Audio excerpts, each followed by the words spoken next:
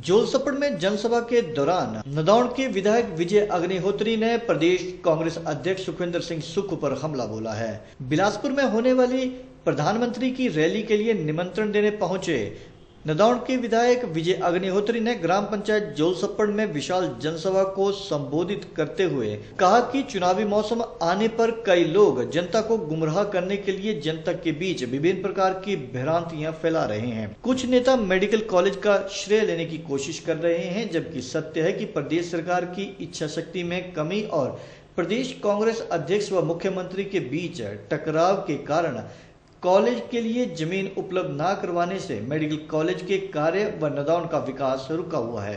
उन्होंने कहा कि जल्द ही प्रदेश में भाजपा की सरकार बनेगी और जोल सप्पड़ में मेडिकल कॉलेज का कार्य प्राथमिकता के आधार पर शुरू किया जाएगा। शादी के लिए वो चालीस से पचास हज़ार रूपया मिलता है, पच्चीस हज़ार रूपया मिलता है। ऐसे बहुत सी सुविधाएँ और जो वो पैसा है, वो पैसा इस प्रदेश में या जिस क्षेत्र में काम कर रहे जो ठेकेदार हैं कॉन्ट्रेक्टर हैं गवर्नमेंट कॉन्ट्रेक्टर्स हैं, उनकी जो उनसे एक प्रतिशत उस काम के जो होता है, उसका एक प्रतिशत सेस कटता है, वो उस फंड में जाता है और लेबर सेस होता है। उसमें कुछ सेंटर की गवर्नमेंट पैसे डालती है, उसमें थोड़ा प्रदेश का शेयर भी होता है और उस सारे चीज़ को प्रदेश की गवर्नमेंट ऑपरेट करती है। और गवर्नमेंट ऑपरेट करती है तो इस करके ये बिना किसी पद के भी कंस्टिट्यूशन के भी, ये दुकानदारी की तरह इन्होंने बेचा है।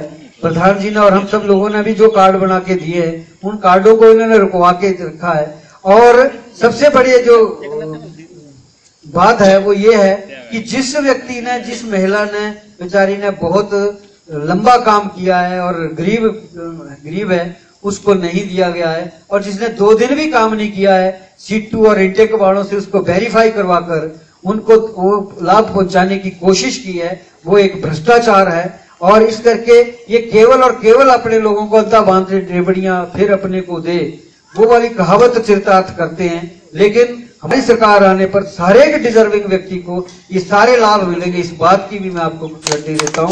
इस बात के लिए भी, क्योंकि एक तो अब बचे ही वो लोग हैं जो उनके साथ नहीं है। दूसरा ਸਾਰੇ ਇੱਕ ਡਿਪਾਰਟਮੈਂਟ ਕੋਣ ਦੱਸੇ ਜਿਹੜੇ 2 ਦਿਨ ਲਗਾਣੇ ਤੇ ਬਾਅਦ तीन मसीदा दे देती थी आरटीआई की इन्फॉर्मेशन लेनी आरटीआई तो पता आरटीआई उसमें आप बिल लेबर वेलफेयर ऑफिस है जी हाँ लेबर वेलफेयर ऑफिसर से पता करवा सकते हैं कि इसकी पैरिज कैसे ये सरकार बताए इन्होंने क्या किया और जो विकास के काम उसमें चले थे सीएससी नदौन की बात यहाँ चली थी कि जहाँ जो हॉस्पिटल है उस हॉस्पिटल में बुरी हालत है। हम पीछे मोदी जी के जन्मदिन के दिन वहाँ गए थे तो वहाँ लगा कि लोग किसी बताया कि मैं चार पाई भी घर से लेके आया हूँ। और अपने को भी आत्मग्लानी होती है कि हम क्या कर रहे हैं। और वो जो वहाँ बिल्डिंग बन रही है, आदमी धूमल जी, उसका शिलान्यास करके गए हैं। तब से जो काम हुआ था बीजेपी गवर्नमेंट के टाइम में जो टेंडर अवार्ड हुआ था, उसी अवार्ड के ऊपर काम हुआ है। उसके आगे आज काम नहीं हो रहा है। नदौड़ के लोगों को पिछले दस दिन पहले वहाँ इंद्रपाल चौक पे धरना देकर बैठना पड़ा। तीन, दो दिन का अनशन उन्होंने किया कि इस हॉस्पिटल की शुद्ध कोई लो लेकिन नहीं हो रहे। वहाँ तो ऐसी खंडहर बढ़ गया है कि वो जो आधी दूरी बिल्डिंग है, उसमें बारिशों में ऐसे सवाड़ी सी जमी है कि ऐसे लगता है पता नहीं कितनी पुश्तों के पहले बनी थी जो गिर रही है। आज कांगू के हॉस्पिटल की बिल्डिंग जो बनकर पिछले तीन साल पहले तैयार हो गई थी, आज तक वो जनता को समर्पित नहीं हो पा रही है, हो पा रही है। और वहाँ के प्रधान ने पीछे अखबार में दिया कि जी, राजा साहब, इसको भी ऑनलाइन ही कर दो।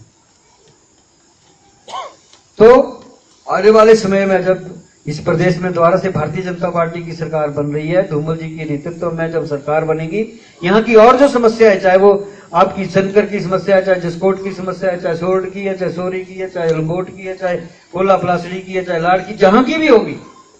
कहीं रास्ते की समस्या होगी कहाँ पा, कहीं पानी की समस्या होगी होगी यहाँ पानी की समस्या को देखकर मुझे एक और बात याद आई कि एक डेढ़ महीना पहले आदरणीय प्रधान जी ने मेरे को फ़ोन किया कि आप हमारे यहाँ ट्यूबवेल का प्रबंध करवाओ और हमें पानी दो। मैं उसके बाद एक्शन और एसटी से मिला। मैंने कहा उन्होंने कहा कि दस लाख रुपया आप कर दो मैं बाकी हम कर देंगे। मैंने कहा चलो मैं कर दूँगा। लेकिन उसके पश्चात उन्होंने कहा कि वो फिजिबल नहीं हो पाया। इस करके सर्कुलेशन बेल के लिए मैंने उसको अपनी एमएलए प्रायोरिटी में डाल के दिया। उसका टेंडर भी हो गया, उसका काम भी शुरू होने वाला है।